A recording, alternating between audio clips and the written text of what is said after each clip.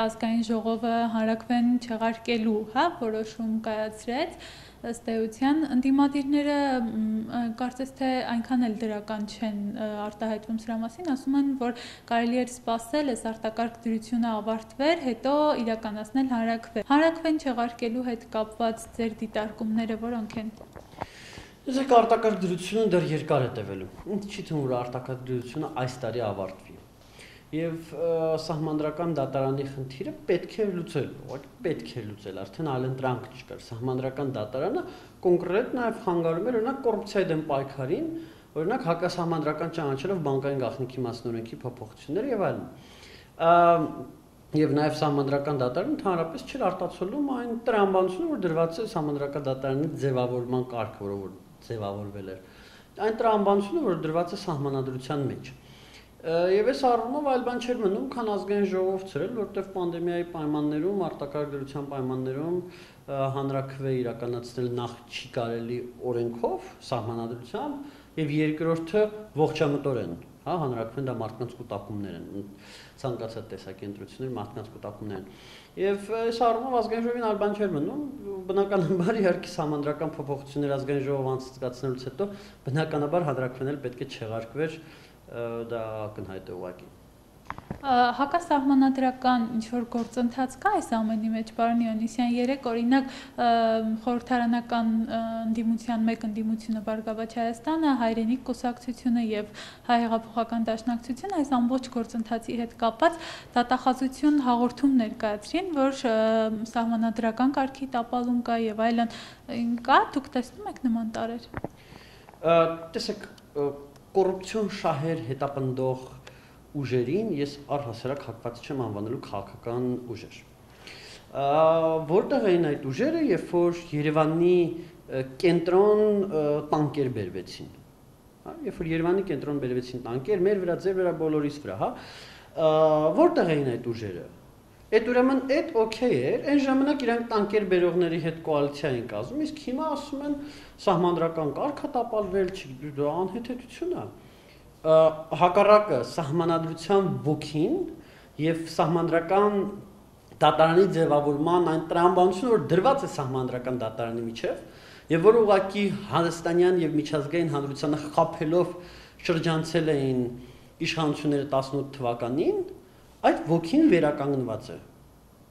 եւ այդ ոգին վերականգնված է լեգիտիմորեն ընտրված ազգային ժողովի կողմից։ Սահմանադրական դատարանի ճգնաժամը հանգուցալուծված է թե ոչ, որովհետեւ հակառակ ճամբարից ասում են, որ նոր ճգնաժամ հասունացավ սահմանադրական դատարանում։ Դե գիտեք, հակառակ ճամբարից հաճախ նաև ասում են, որ Հայաստանում ժողովրդավարություն չկա, հա, իրանց ժամանակ բարձմա ժողովրդավարություն եղել է, իսկ հիմա բարձմա ժողովրդավարություն չկա։ Չէ, ճիշտ հակառակը, համանդրական դատարանում կոնկրետ ճգնաժամ կար եւ այլևս ճգնաժամը չկա։ Համանդրական դատարանը այժմ նաեւ արցակուրտների պատճառով իհարկե չունի քվորում, բայց դա խնդիր չի, դա ճգնաժամ չի, դա օրենքով նախատեսված իրավիճակ է եւ շուտով արդեն կլինեն եւ առաջադրումներ եւ կընտրվեն համանդրական դատարանի նոր դատավորները։ Երեք ազգային ժողովը ընդունեց թե ինչ հերթականությամբ պիտի լինեն առաջադրումները, նաև սահմանադրական դատարանի անդամների թոշակի հարցի վերաբերյալ նախագիծ եւ այլն։ Նախագահը երեկոյան հայտարարեց, որ ինքը չի պատրաստվում ստորագրել այս նախագիծը եւ ըստ սահմանադրության, եթե չստորագրի, պիտի դիմի սահմանադրական դատարանին։ Դա պարտադիր չի, սահմանադրության 129 կարծեմ հոդվածը նախատեսում է երեք իրավիճակ։ Իրավիճակ, եթե նախագահան ստորագրում է, իրավիճակ, եթե նախագահան չի ստորագրում եւ դիմում է համանդրական դատարան, եւ իրավիճակ, եթե նախագահան ոչ ստորագրում է, ոչ դիմում է համանդրական դատարան։ Երրորդ իրավիճակում արդեն ազգային ժողովի նախագահն է ստորագրում ընդունված օրենքը։ Նախագահն ասում է, ես չեմ ստորագրելու սահմանադրության 129 հոդվածի 3-րդ մասը նախատեսում է, որ այդ դեպքում ազգային ժողովի նախագահն է ստորագրում, որովհետեւ ինչ որ մեծ խնդիր չկա։ Իսկ ճիշտ ասած չգիտեմ ինչի հանրապետության նախագահան չի ստորագրում, բայց ամեն դեպքում ստեղ ոչ մի տենց մեծ տրագեդիա չկա դրա մեջ։ Տեսեք, երեք ազգային ժողովի ամբիոնից էլ իմ քայլը խմբակցության պատգամավոր Սուրեն Գրիգորյանը ասաց, որ իհարկե հանրակրվեն լավագույն տարբերակներ, բայց այս պայմաններում հնարավոր չէ իրականացնել եւ ասաց, որ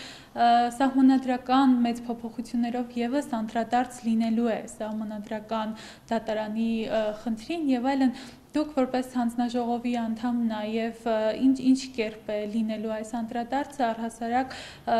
ինչ ինչ որ փուլում է, հա, սահմանադրական փոփոխությունների հանձնաժողովի աշխատանքը։ Սահմանադրական բարեփոխումների հանձնաժողովը դեռևս այո, քննարկում է այդ հարցը բայց դեռևս չկա որոշում, որ որից էական փոփոխություն լինելու է, կարող է լինի, կարող է չլինի։ Այո, ես չեմ բացառում եւ ես ինքս այդ գաղափարի ջատագովն եմ, որ գերագույն դատարան ստեղծվի, ըստ էության Վճռաբեկ դատարանը միացվի սահմանադրական դատարանին եւ նաեւ այնտեղ այլ փոփոխություններ լինեն, օրինակ դատարան բոլոր դատարանները կարողանան գնահատել օրենքների համապատասխանությունը սահմանադրությանը եւ այլն այդտենց կոնցեպտուալ լուրջ առաջարկներ կան, որոնք շրջանառվում են, բայց դեռևս որոշում չկա եւ ոչ մեկ չի կարող պնդել, որ այդ փոփոխությունը լինելու է։ Միգուցե կլինի, միգուցե չի լինի։ Ես ինքս այո այդ փոփոխության կողմնակիցն եմ, ես ինքս դրա ջատագովն եմ։ Ես հույսով եմ, որ մենք կգանք Գերագույն դատարանի մոդելին։ Ի վերջո դա նաև աշխարհում ավելի տարածված մոդել է, բայց որովհետեւ վստահություն չունեմ դրան եւ նախ որովհետեւ դեռ հանձնաժողովը չի վերջնական որոշում չունի այս առումով, կոնսենսուս դեռևս չունենք այս առումով, դեռ քննարկում ենք եւ երկրորդը, որովհետեւ ի վերջո որոշողը լինելու է ժողովուրդը հանրակրվեի ժամանակ։ Իսկ աշխատանքները ինչ փուլում են փոքր։ Սահմանադրական բարեփոխումների հանձնաժողովը բավական ինտենսիվ աշխատում ենք, համարյա ամեն շաբաթ ունենում ենք հանդիպումներ, ճիշտ է մարտի կեսերից հանդիպումները, գրեթե բոլոր հանդիպումները անցել են on-line ռեժիմով, բայց դա ոչ մի ձև չի խանգարում մի շարք հարցերի հետ կապված բավականին խորքային քննարկումներ են գնում Ինձ թվում է մենք շուտով արդեն կսկսենք հանրային քննարկումները, մենք օրինակի համար եկել ենք ոնց որ թե նախնական եզրահանգման, որ կային մեծամասնության ինստիտուտն ենք սահմանադրությունից հանում, հետաքրքիր քննարկումներ ունեցել ենք օրինակ դատախազության եւ քնչական մարմինների հետ կապված իրականում շատ եւ շատ հարցերի ենք պլանավորում անդրադառնալ, բավականին լայն է այդ հարցերի շրջանակը, դա շատ աշխատանք կա արժևում բայց մենք մենք արդեն շուտով ինձ թվում է արդեն կսկսենք հանրային քննարկումները Բանայնցեն ինչու չսպասել, որ այս հանձնաժողովում այս հարցը սահմանադրական դատարանի հարցը լուծվեր, հա, ինչու այս փուլում ինչով էր հրատապ այդ հարցը։ Որովհետև մենք ունենք սահմանադրական դատարան, որը սпасարկում էր կոռուպցիոն համակարգի շահեր։ Դա անթույլատրելի էր։ Շատ լավ եւ այս ամբողջ քննարկումներին ոչ լուսավոր Հայաստանը, ոչ Բարգավաճ Հայաստանը կարծես թե մասնակցություն չունեցան եւ իմ քայլը միանձնյա որոշումներ ընդունեց, քվեարկեց եւ այլն։ Սա ինչ է կարծում արդյոք մեր երկրի միջազգային իմիջի վրա որևէ ազդեցություն կարող է ունենալ, թե ոչ։ Գիտեք, մեր երկրի միջազգային իմիջի վրա ազդեցություն ունենում է ժողովրդավարության դեֆիցիտը։ Ունենում է քաղաքացիների վրա տանկեր հանելը, ունենում է ընտրություններ կեղծելը։ Ես չեմ կարծում, որ սա երկրի միջազգային իմիջի վրա ազդեցություն ունեցավ, բացասական։ Հակառակն ինձ թվում է որոշակի առումով դրական, որովհետև եթե նախկին իշխանությունները ինչ որ առումով միջազգային հանրության նմատի շուրջ էին ֆրացրել, այսինքն ասել են այն մենք սենց երազանքների սահմանադրական դատարան կունենանք, բայց հետո ինչ որ անցում այն դրույթներով, ինչ որ մախինացիաներով, բաներով նենց էին արել, որ դա ուժի մեջ մտնի մի 30 տար, մի 15 տարուց, 2035 թվականին։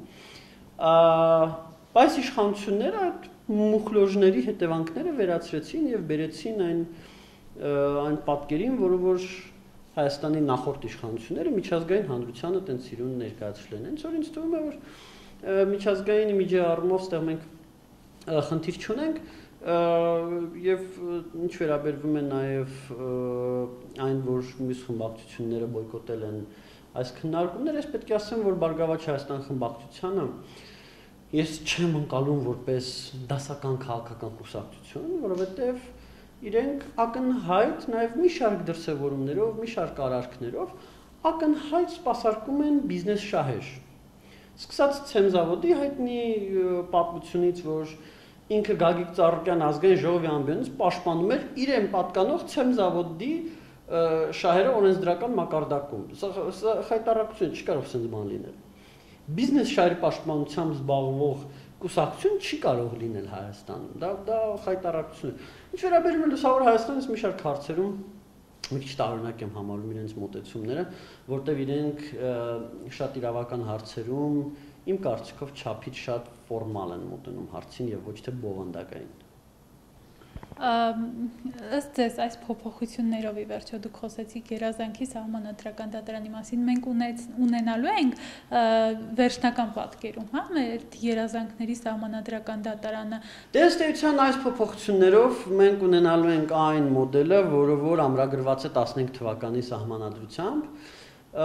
բայց դա չի նշանակում որ այս մոդելը պարտադիր շատ երկար կմնա, որովհետև նորից ես չեմ բացառում, որ կարողա ստեղծվի Գերագույն դատարան եւ այդ դեպքում երևի նոր կազմ պետք է ձևավորվի։ Չգիտեմ դեռ, այսինքն քան որ այդ հարցը դեռ դեռ որոշված չի, առավել եւս որոշված էլ չի դրա անցումային կարգավորումները։